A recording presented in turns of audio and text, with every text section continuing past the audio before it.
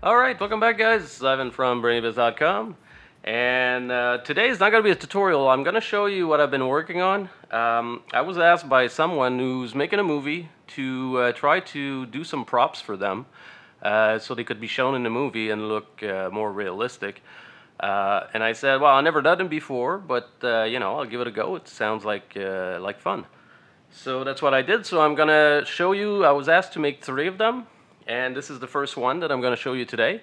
And uh, I'm wearing my Deadpool uh, t-shirt, and uh, if you haven't seen this movie, go check it out. It's pretty awesome, and uh, that's why I'm wearing it, because this is a movie, and I'm making a movie prop. so, uh, so without further ado, let's uh, check out this thing.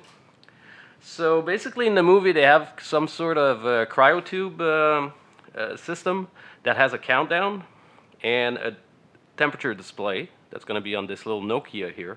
And there's a keypad uh, that's attached to it that enables you to change the countdown uh, to, um, to start, to stop, and all that. So what we're going to do, I'm going to show you a, a, little bit how this is built. Uh, so this is all acrylic that was cut on a laser cutter. And this is a keypad that we've used before. You can check out that video if you want. And a little Nokia 5110 uh, LCD screen. Like I said, we used that before, so you can check out that video and a little 8-digit uh, display LED. And uh, we did a video uh, just doing a countdown using this one. So I'm reusing that code and tweaked it a little bit and make all these things uh, work together. Now, since there's a lot of components here, I'm using a Mega, and I don't know if you can see it here, sandwich between uh, these two acrylic plates. And let me show you the back so you can see the loop of the uh, keypad goes here, connects to the little PC board, which is a regular little PC board like this one. There you go.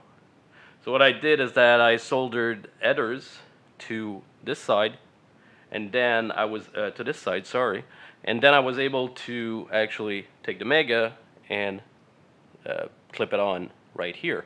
So basically creating a shield. Uh, so that worked out pretty well. And then, as you can see, there's a lot of wires here, sandwich between them. So they go from one, point, uh, one module to one uh, pin on the Mega. Um, now, in the future, I'm working on right now, uh, we have a little CNC machine that we're trying to, uh, let me switch. we have a little CNC machine that we're trying to set up to do isolation milling of PC boards. Because this is pretty cool and all, Uh, but these are all separate holes, so you need to jump with wires and all that. So we're working on trying to create PC boards when we do projects like this instead of using this. This is very good uh, for hobbyists and stuff like that, but when you have the right equipment, you can actually um, mill your own PC boards, and then all you have to do is put the modules on the PC board and solder them uh, right away without ha having to use any wires. Uh, so I'll let you know uh, the progress on that and uh, when we get it all figured out I'll make a tutorial video uh, from start to finish how to make the PCB, uh, design the PCB and then cut it on the CNC router, uh, what software we're going to use and all that so stay tuned for that. So now, now what I'm going to do I'm going to plug it in and I'm going to show you exactly how this thing works. So basically this is all powered using a little regular USB um, battery pack that you use to charge your cell phones. So I'm going to connect one end of the wire like this, and I'm going to put it underneath so it props it up like so. And then I just plug in the other end of the cable to the Mega. And there it goes. It's starting up. Oops, let me move the camera a little bit. There you go. So right now, as you can see, we have 79.90 um, temperature and it says standby and we have a countdown of 30 seconds and this is a tenth of a second.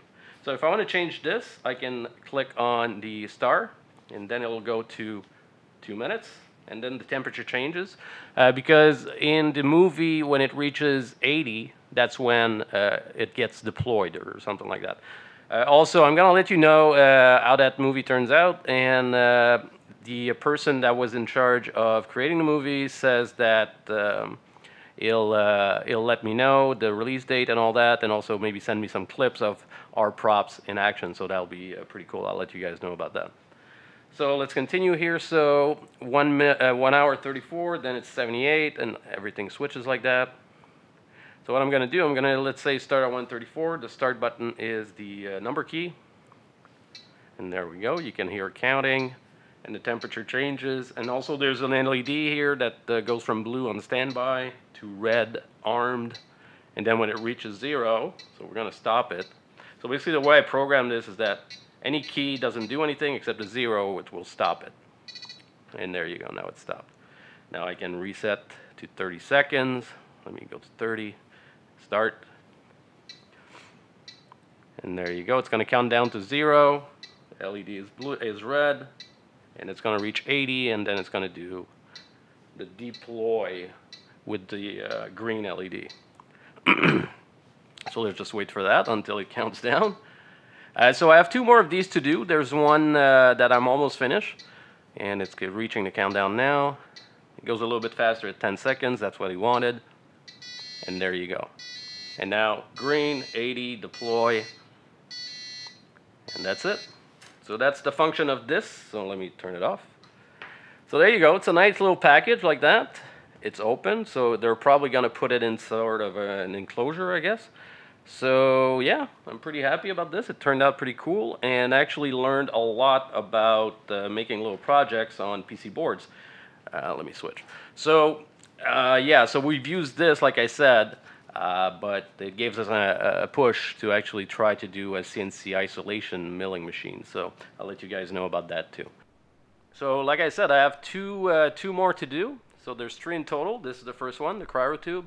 And uh, in two, three days, or yeah, probably two, three days, I should have another one finished. So I'll show it off to you guys also. And uh, two, three days after that, that will be the last one. And we'll conclude all the props so I can ship it uh, to these guys so they can put them in uh, their movie. So there you go, guys. That is a tutorial just showing you what I'm working on right now. And um, don't worry, I'm going to uh, keep doing videos. It's just right now I'm working on this project. So like I always say guys, if you like these videos, please subscribe to our channel. If you have any comments or questions or um, future projects uh, you would like us to work on, uh, just leave them in the comments below and we try to answer uh, every one of them. So once again guys, my name is Ivan and I hope to catch you guys real soon. And go watch Deadpool. Take care.